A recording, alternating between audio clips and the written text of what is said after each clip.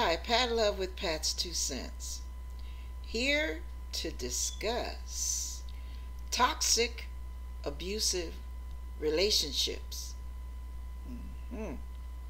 Now, I'm going to read from my third book, Healing Parables, chapter 16, entitled, let me make sure I have the title correct, entitled Magnetic Seduction. Now, I'm going to read this really quickly. Magnets draw. They have a pull. They can hold something with the right properties for extended lengths of time. A magnetic person is one with a very strong and powerful attraction. Once you connect, it can be very difficult to disconnect. People like this can be pleasant and quite charming, which is why we must be cautious. There is oftentimes a spirit of seduction working along with such a person if there is little to no connection with God. There is such a strong draw that when one is ready to break that bond, it is not quite as easy as it was forming one.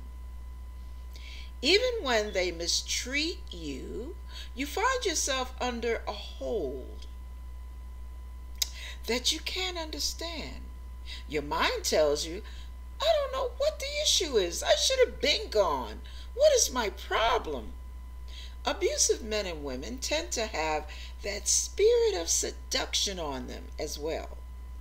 We wonder why their companions just don't leave at the first sign of danger. There is a hold, and it is a spiritual one. Sometimes you have to get serious prayer to break away. You may even have to be delivered. Notice how easy it is to connect. To connect something to a very strong magnet. Now, try pulling them apart. I'm going to stop there. Now, we're going to finish with Pat's two cents. But sometimes we don't realize just how magnetic, how strong a hold a relationship can have on us. Everything and our reason and our intelligence and in our calculations just is so diametrically opposed to why we stay in these sickening relationships, in these dangerous relationships where we put ourselves in danger just staying in it. I know it's difficult.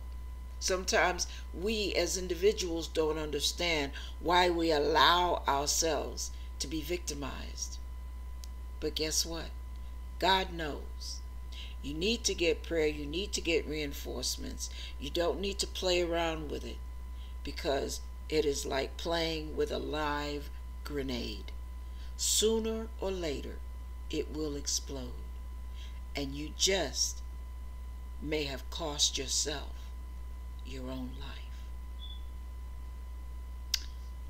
That is my word. That is from my book, Healing Parables. God bless you. And as the Bible says, Selah, which means think on these things.